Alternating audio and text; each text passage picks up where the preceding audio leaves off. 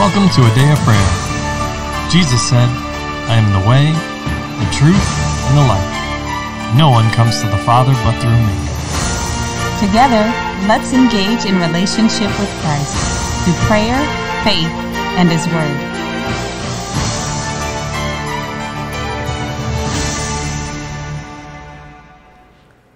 Good morning and welcome, everyone. You're listening to Day of Prayers my morning Bible study.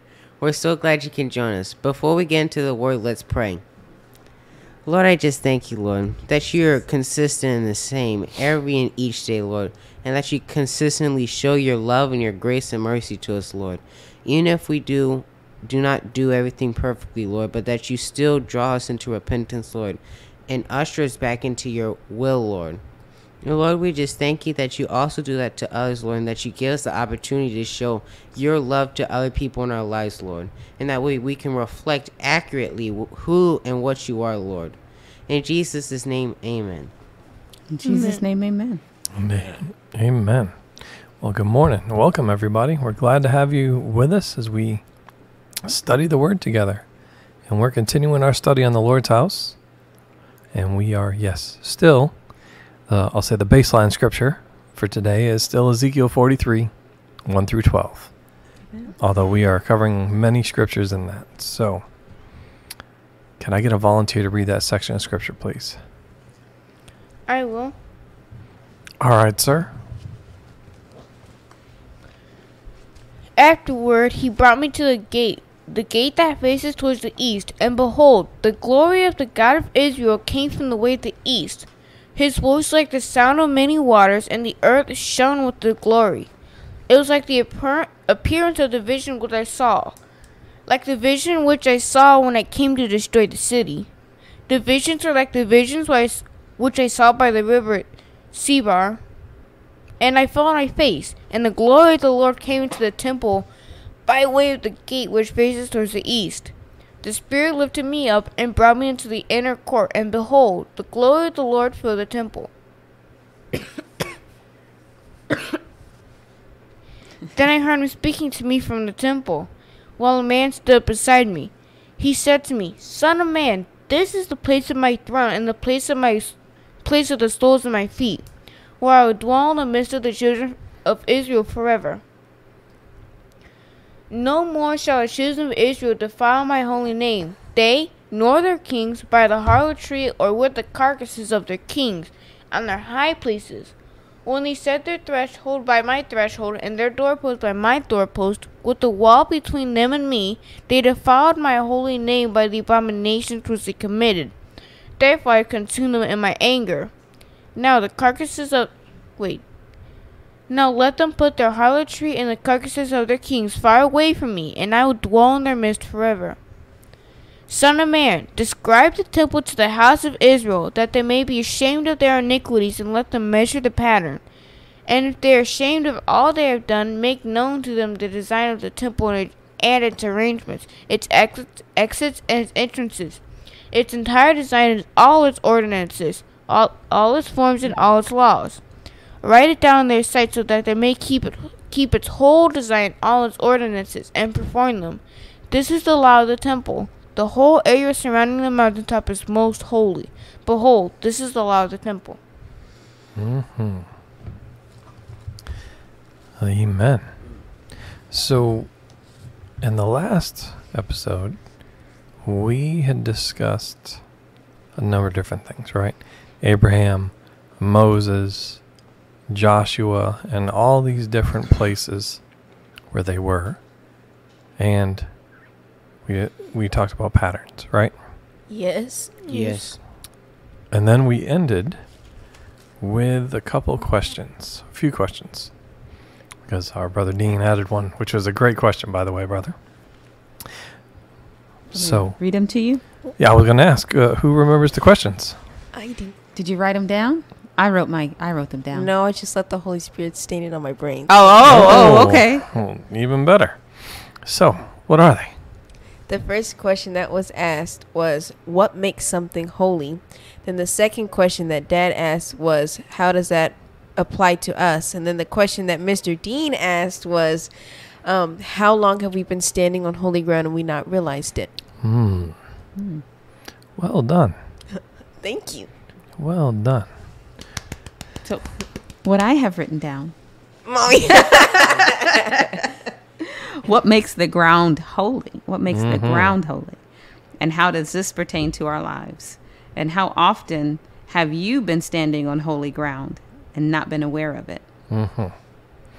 Yes. So- Bravo. Thank you. Thank you. I wasn't going to say anything. It was off, but it was still the the It- gist. The gist of it. Was, Exactly. just- so But I was giving grace. I was giving Amen. grace. No, no, you did well, Layla. You did well. Absolutely. But there is certainly a blessing and benefit in writing down what the Lord says. Amen. As he said to them in Ezekiel, write it down. Make it well, plain. we're, we're Well, that's talking about Habakkuk. laws and statutes and the way that things happen. So we know if we're we um. Well, we it, it's fact. It's proven. If you write something down, it helps you remember it better. It does. It That's does. why you do Mhm. it. Even if you never read it again, you remember it better. So there is always benefit in writing things down. Mm-hmm. And Layla, Reinforces the learning. You wrote it on the tablet of your heart, which I appreciate. And the Lord brings all things to your remembrance, which He said to you. So I appreciate that. You did a good job, sweetheart. I was just having fun with you. So, I want to open the floor and give everybody the opportunity to answer the question and share what the Holy Spirit is speaking, ministering to you about it before we move forward. And of course, if you got questions on what we were discussing, please ask them. All right. okay. Excuse me. So, who'd like to begin? Pardon me. Uh, Mama, were you going to begin? No, no. I'm. I will- I'm. I, you. I think you guys said you had I the will answers. begin. I will begin. All right, Okay. LaCharles. Unless uh, you can. You Go ahead, Harvey La go. Charles. Well, Okay. ladies first. Ladies first. Go ahead. Okay. Thank you. You're welcome.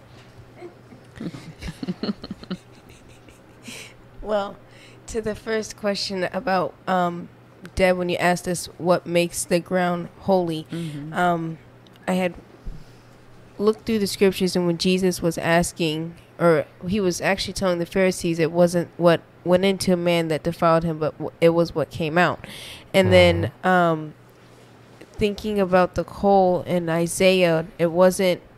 Um, the coal itself that cleansed Isaiah, but it was the anointing that God had on it that cleansed him and made him able to stand before him. So Okay.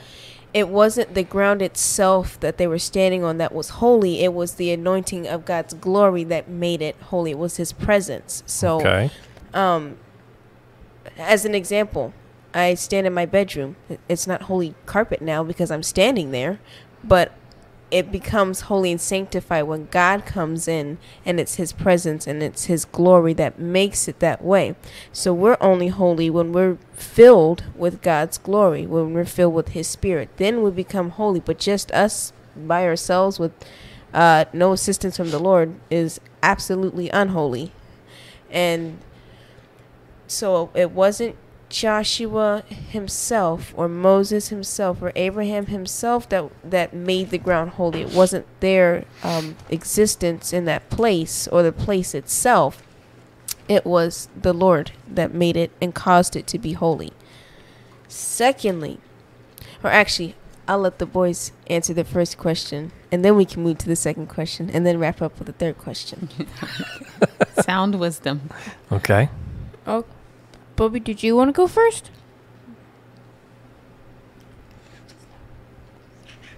Well, somebody go.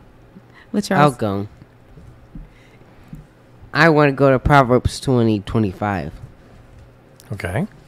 Ah. okay, is everybody there? I'll read it. It is a snare for a man to devote rashly something as holy, and afterward to reconsider his vows. Okay, by looking at this uh, proverb that Solomon wrote, it is a mindset that makes something holy, or how you view something. It is your mental attitude towards it. Like an example is how people quote think the Holy Grail is considered holy because it's the cup Jesus drank out of. But anything that what we place value is as we consider holy. Hmm. So it's the same same is true with the Lord. Everything the Lord does is holy. Everything He does, but if we place value on it, only then do we see it as holy. We don't see the stick Jesus picked up as holy. We don't say holy stick. No, we don't say that. But it's how we place it and look at it in our own lives. A perfect example is how people travel to Israel to go to the Mount of Olives and the place Jesus prayed in the garden. How they put value in all those things. But what about all the places that Jesus walked? Aren't they holy ground? It's how they consider it in their mind. So it's a mindset. And that's what you see in this proverb. It's how the person thinks about it and they consider holy and they don't think about it correctly. Hmm. That's what Solomon's saying if, when they don't think about it correctly. Okay. I want to hear what Promise has to say. I do, yes. Okay, I'd say what makes um something someone holy is We're talking about the ground. What makes the ground holy? Go ahead. oh, well this still goes to it Okay. with with some with someone being obedient, and when they're obedient, you have all the blessings, and when the person's obedient, the an anointing comes from the Lord through the person into someplace else, and also what the Lord calls holy. Explain. like for example hmm. for example with mount sinai or the mount they're pronouncing wait or the mountain that they're talking about the blessings for the people Okay. that that mountain but yet will be the temple. The temple is made from regular stuff, but the Lord called the regular stuff holy. The Lord called the regular stuff holy because he considered that holy. Mm. And you also see what the tabernacle, I believe, and how the cloud, the cloud of the Lord came in. And when the cloud of the Lord came in, that's when it became holy. Not when it was first made. Because right then it would be the. f- It would be unclean. Okay. Anyone else? But I would say um, very quickly on Promise's comment about the tabernacle. By all technicalities, because the tabernacle had to be a holy object for the Lord to have dwelt there without it having to be destroyed, the um, the wood, the gold, whatever it was, had to be sanctified and cleansed first before it could be used as his whole as the materials to build his holy habitation. So, you know, and I'll say that for the second question. I'd say um, there's an aspect of all three that are correct, because if you look at look at it, how what Promise was saying about the wood and stuff, how it was just common, it was just wood and gold, but it was consecrated, as Leah was pointing out. It was a mindset of that was what makes something holy. Consecration itself does not make it holy. Just because I bathe every day, I know I'm holy because the Lord has make, made me holy, but that's not what's considered holy because Jesus said we are the temple. The temple itself is moot. It doesn't matter. Mean when I say the no. temple itself, Uh, don't judge by my facial expressions. Don't, don't, don't. But do um, consecration. The word in of itself means you set something apart and sanctify it to be holy. So even if it was something previously unholy and it's acceptable for God to God for you to to do so with the item, whatever it is, or yourself, you know, to set Yes. it apart does bring it into holiness. But an item, a stick here nor there, as you were referencing, so consecration does bring it into a fellowship with God. But so pick a different word. That's what I mean. So like how you're describing it to articulate what you're saying. What I'm saying is just because you cleanse something with the process described in the law doesn't make it what the Lord wanted when he created the law was obedience from the children of Israel. Okay. That's so it. washing it, ceremonial washings is what you're talking Yes. about. ceremonial washing Okay. now it does not make something holy. We know we're holy because of Jesus in our lives and the anointing that He places on each and one, every one of us. But what the Lord was trying to get the children of Israel to understand through the law was obedience to what the Lord is telling them. Though it may seem complex and complicated, He just wanted their obedience.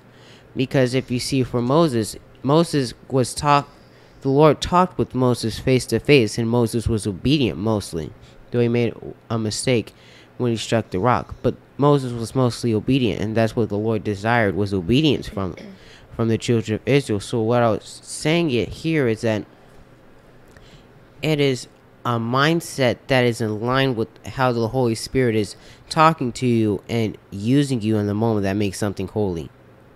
So it's having the same mindset and attitude towards something that the Lord has.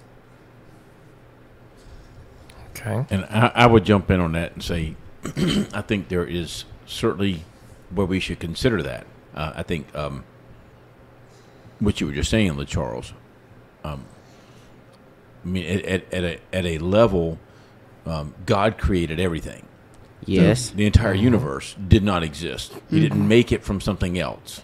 So every mineral, everything on the periodic table of elements, everything was created by him and for a very specific purpose that represents his glory. He he put, you know, two hydrogen molecules and one oxygen molecule together to form water. I mean, um, Amen. I mean, he, he it was designed from that, but he also used hydrogen for something else, and he also used oxygen for something else, and he, this this infinite, intricate, wonderful mm-hmm. design. So, um, if we go to where we've been camping out at forty three twelve, and we mm-hmm. take the word holy that's used there in the original text, kadesh, mm-hmm. which we've talked about a few times in recent podcasts, the definition is apartness or sacredness. Um, origin from kadash, a sacred thing, place, um, rarely abstract, sanctity. Its used uh, usage is consecrated, dedicated, hallowed, holiness, holy, saint, sanctuary. These are the definitions of that word. Yes. But it, for me, in my mind, to process, especially when we talk about the sacred things, we talk about the washing, the ceremonial washing. Um,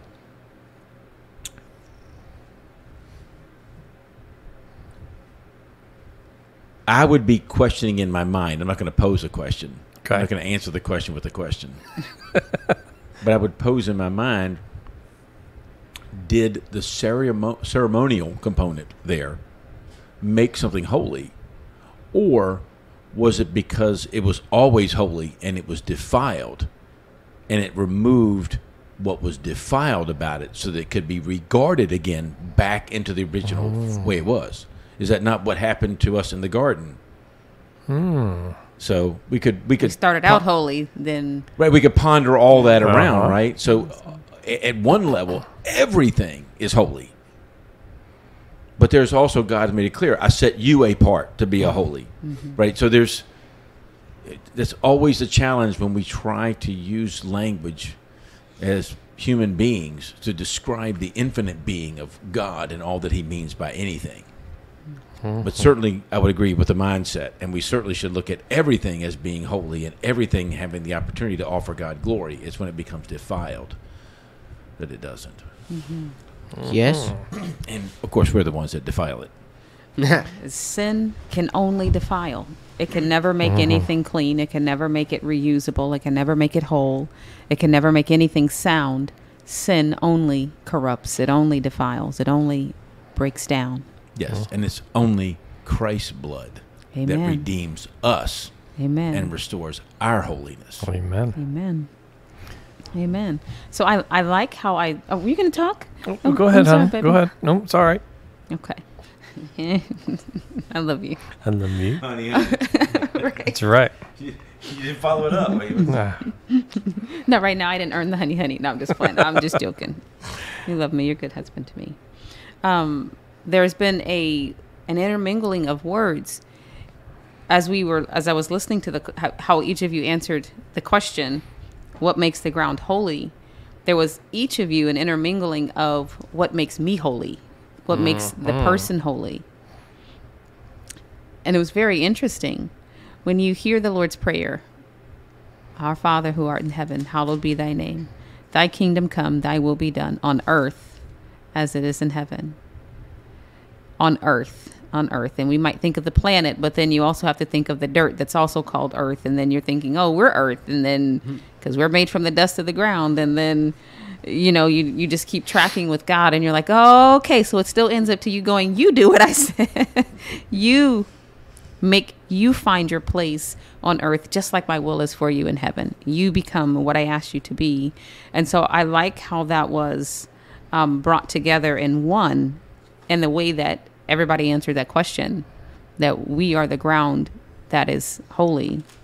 And yes god has a place for the natural earth and restoring it to its place. And um, we, we've said that before in previous podcasts how the, the earth is groaning and travailing waiting for the sons of god to be made manifest. It's it's waiting for the restoration where it doesn't have to be subject to sin anymore because the lord subjugated it at the same time that adam the man and woman fell the earth became subjugated to the curse and sin and at the same when we are redeemed the earth is going to have its opportunity to be restored. It doesn't have to drink in blood anymore. It doesn't have to witness or be a part of unrighteousness. You know the trees will clap their hands in mm-hmm. glory to the lord. It doesn't want to be used for being made into asherah poles or you know whatever else and demonic sacrifice and things of that nature. It wants to glorify god. The earth knows its purpose and what it's supposed to be doing but it can't fulfill it just yet because it's wait god has a plan for redemption for everything so i just thought that was really really interesting how that came together If everybody could turn to Acts 7, please. Acts 7. Yes.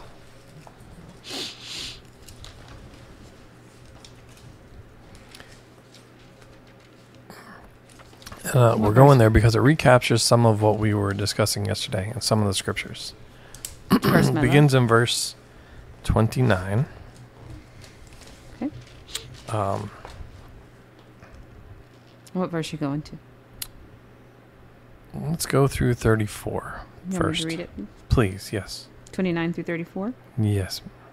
Then at this saying, Moses fled and became a dweller in the land of Midian, where he had two sons.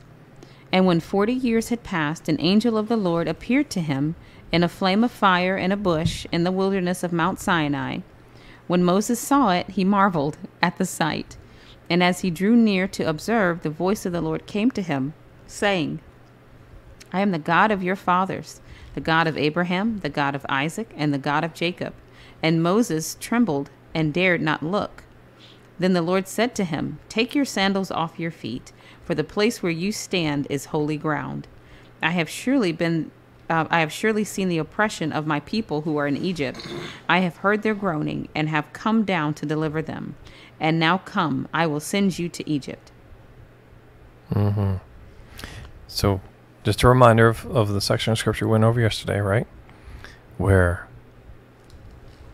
the Lord said that to Moses. Hey, this is holy ground, right? Also, can you read verses 44? Same same thing, Acts 7. 44 through 50, please. Acts 7 44 through 50. Yes. Okay. Our fathers had the tabernacle of witness in the wilderness, and he appointed, instructing Moses to make it according to the pattern. I'm sorry, as he appointed, instructing Moses to make it according to the pattern that he had seen, which our fathers, having received it in turn, also brought with Joshua into the land possessed by the Gentiles, whom God drove out before the face of our fathers until the days of David who found favor before God and asked to find a dwelling for the God of Jacob.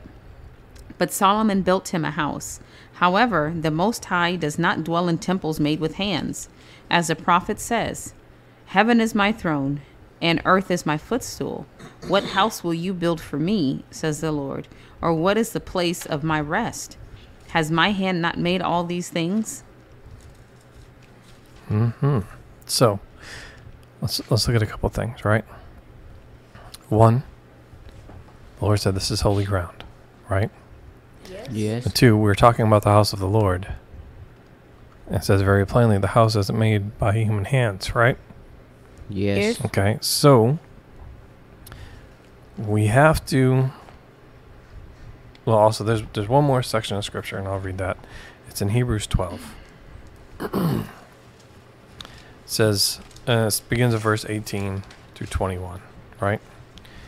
It says, "For you have not come, excuse me, to the mountain that may be touched and burned with fire, and to blackness and darkness and tempest, and the sound of a trumpet, and the voice of words, so that those who hear it begged that the word would not be spoken to them anymore. For they could not endure what was commanded. And if so much as a beast touches the mountain, it shall be stoned or shot with an arrow. And so terrifying was that sight that Moses said, I am exceedingly afraid and trembling. Right? So, let's, let's again, let's look at a few things the whole in, in ezekiel 43 the whole mountaintop is holy right? Mm-hmm. And in the Yes. first sections of scripture that we covered there what did it say? The glory of the lord came down right? Verse 4 again that he stood in the temple the door of the temple right? Yes. verse 6 and 7 he called out from the temple right Yes. but again, it's not a temple made by human hands. Right? Yes. Yes. So let's let's also look at a few other scriptures here. Um and and each of you had great points in answering the question. If we put them together, there is a complete answer in there. And the first thing is it's holy because the Lord said it was holy. Mm-hmm. Right? Yes. I believe Promise said that. That he called it holy. And we Yes. actually see that in a number of places. What was the uh, in Jeremiah chapter 1? And what was the word to Jeremiah? He says, The word of the Lord came to me saying, Before I formed you in the womb, I knew you. Before you were born, I sanctified you. And I ordained you a prophet to the nations. Right? Hmm. Yes. Okay. That's not the only time he says that. We can go to the book of John. And let me find my place here real quick. Oh. John 15, verses 15 through 17. Everybody there? He says, No longer do I call you servants, for a servant does not know what his master is doing. But I have called you friends, for all things that I've heard from my Father I have made known to you. Here's the key, verse 16. You did not choose me, mm-hmm. but I chose you and appointed you that you should go and bear fruit, and that your fruit should remain Amen. and whatever you ask the Father in my name, he may give you. These things I command you, that you love me, one as, or, or sorry, excuse me, that you love one another. and not only does he say it there, um, let's also look at the high priestly prayer in John 17.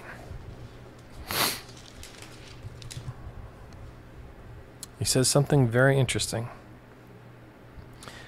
Uh, begins at verse 20. I'll read 20 through 24. So that's John 17, 20 through 24. It says, I do not pray for these alone, but also for those who will believe in me through their word. Amen. Oh, sorry. Let me back up a second. Okay. Um, he's praying about his disciples and all disciples, right? It's the high priestly prayer, not just the ones that are with him, but in the future. Us. Yes, that's uh, that includes us. Amen. It says in verse 16, They are not of the world, just as I am not of the world. Sanctify them by your truth. Your word is truth. As you sent me into the world, I also have sent them into the world. And for their sakes, I sanctify myself, that they also may be sanctified by the truth. I do not pray for these alone, but also for those who will believe in me through their word, that they may be one as you, Father, are in me, and I in you, that they may be one in us, that the world may believe that you sent me. And the glory which you gave me, I have given them, that they may be one just as we are one. Amen. I in them, and you in me, that they may have been perfect, may be made perfect in one, and that the world may know that you have sent me and have loved them as you have loved me. Father, I desire that they also, whom you give me, may be with me where I am, that they may behold my glory, which you have given me. For you loved me before the foundation of the Hmm. world. Okay? Wow. Does this hmm. sound an awful lot like what we've been reading in every place, especially in Ezekiel? The glory of the Lord, and even in Revelation, right? There's no temple in heaven. It says God and the Lamb are the temple, Yes. right? And we talked about that at the beginning of this House of the Lord study, right? There's the interconnectedness. We and them, or I and you, and you and me, and they and us, right? The Godhead. In us, right? Beholding the glory of the Lord. And also, there's a, another section of scripture that we're going to get to here. Um, let me find it quickly.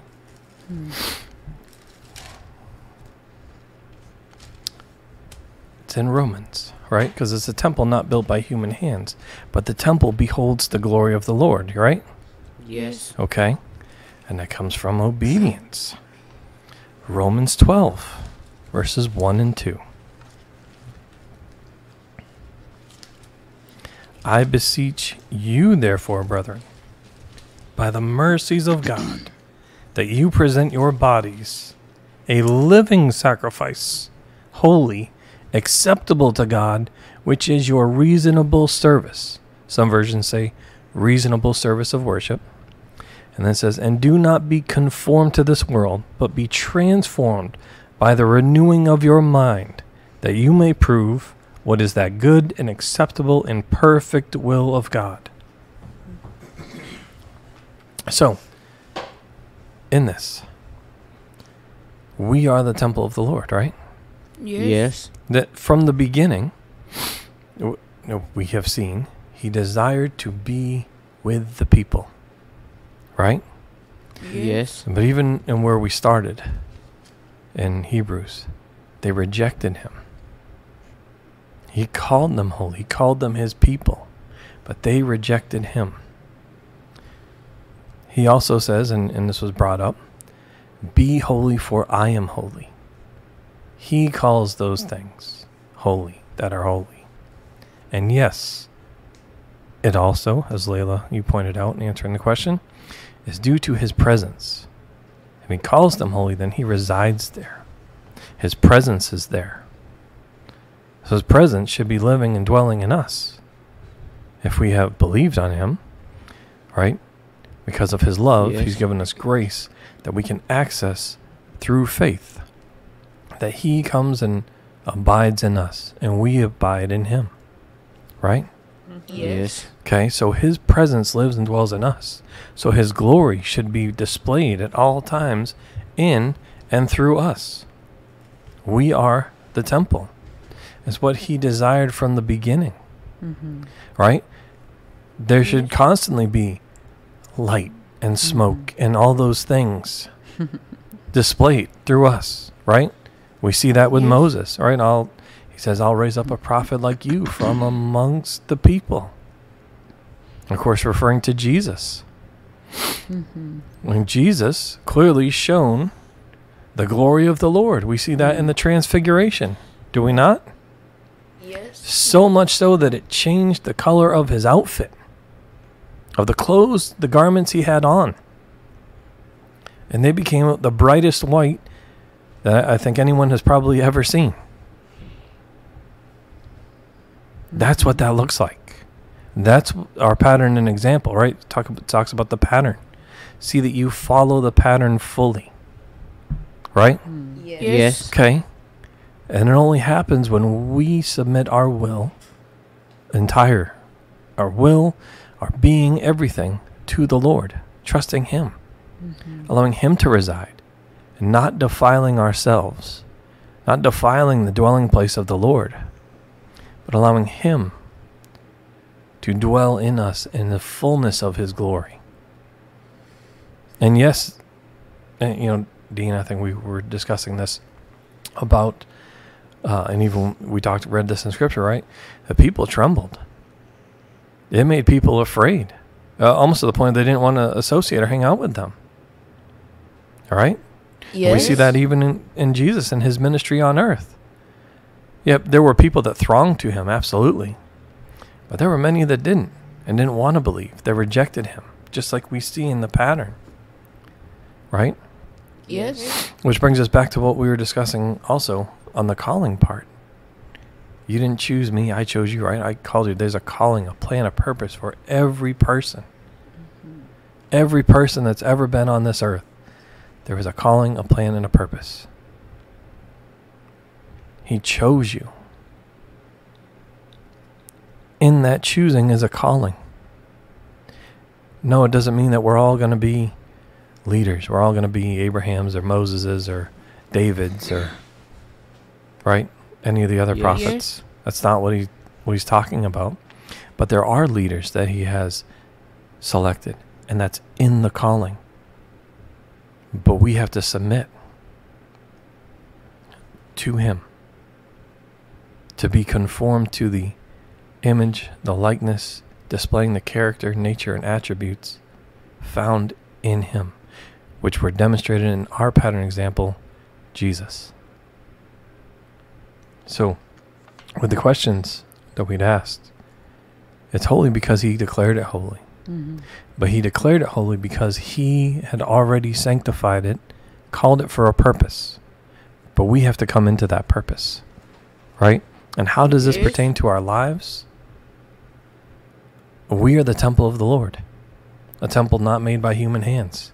Also, if we look back, we were talking about it in Exodus 19 and 20, right? Yes. Uh, actually, and and in Ezekiel 43. Right after he talks about the law of the temple, he then goes into the altar in both of those sections. This is before the temple's even built, but we just read, we are a living sacrifice, right? Yes. yes. And in, in Exodus, the altar was supposed to be an altar of dirt. What did he make man from? Dirt. Okay, so do we now start seeing the connections and, and start piecing that together? We are the altar. We are a living sacrifice. Right? Yes. yes. For the Lord, dedicated for Him, for His. We are a living sacrifice for Him. And Peter also tells us that we're living stones being built into the, into the Lord's house, right? Yes. Yes. What did it say? If you're if you decide to make an altar out of stone, it's got to be what? Not cut. Not cut. Not cut stone, Tools. but fashioned how the Lord designed us. Right? Yes. Yes. Okay. We're living stones. And he's choosing to live and dwell in us.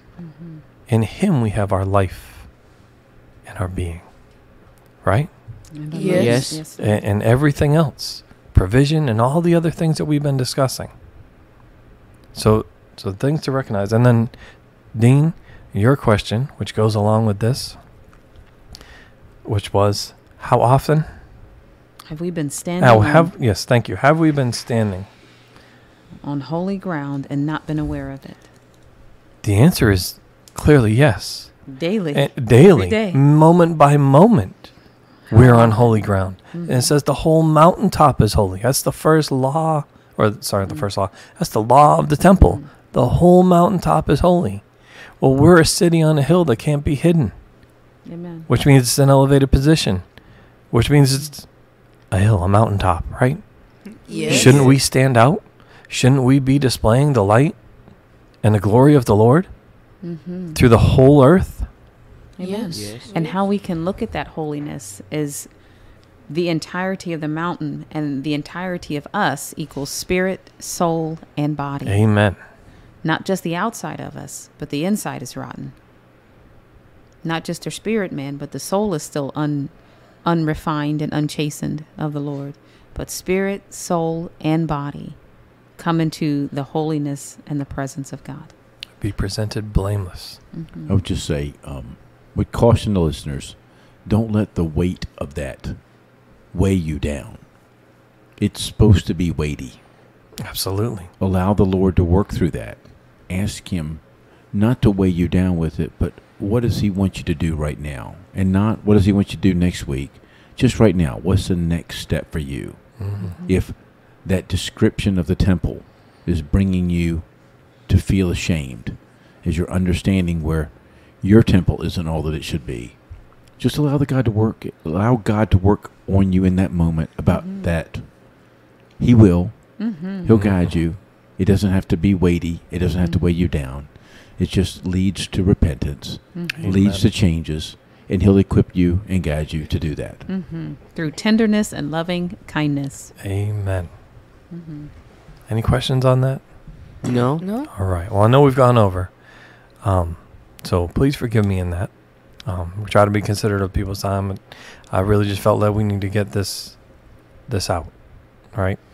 Um, So I want to be obedient to the Lord and um, do. and make sure that we have. 'cause He, he's complete. He lacks nothing, and He gives us everything we need in order to pursue Him. Amen. Amen. All right, so let's pause there for today. And uh, with that, can I get a volunteer to close out in prayer, please? I will. All right, Layla. Lord, we just thank you for sanctifying us, Lord, for consecrating us and setting us apart for your holy purposes, Lord. And we just submit ourselves under your hand right now, Lord, to do as it is that you've commanded us to do, Lord, in all excellence, with all zeal and all vigor, Lord, with all our soul, heart, mind, and strength, Lord, with everything that we have. We go after you, Lord. And we just thank you for being who you are, Lord, and for cleansing us from all unrighteousness, Lord, and for setting us back on that track that you have set before us to walk on, Lord. And we just thank you for the people you've placed in our lives, Lord, to walk with us in that, God, to um, be an intercessor, Lord, and to help us continue to grow in you, Lord, and we can help them continue to grow in you as well, Lord. And we just help each other and we can grow together, Lord, as you have designed us and called us to do. So, Lord, we just thank you today for your mercy and your grace and your love, Lord, and the peace that surpasses all understanding, Lord, and the satisfaction and the satisfying of our hearts that you've given us today, Lord, for filling us with your fullness and your blessings. So we just thank you for it. In Jesus' name, amen. In Jesus' name, amen. And amen. We love you. God bless you. And have a wonderful day.